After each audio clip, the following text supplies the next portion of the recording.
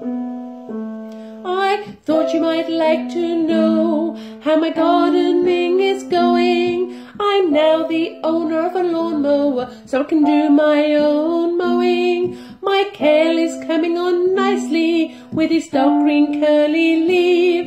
And my radish, well, they're the best that I have ever seen.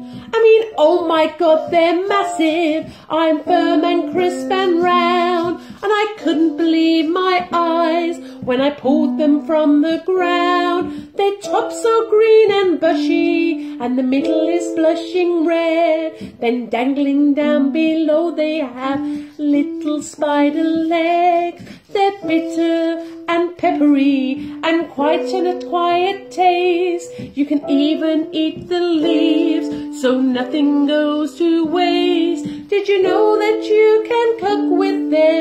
add them to any dish? So come on, let's show some love for the humble radish.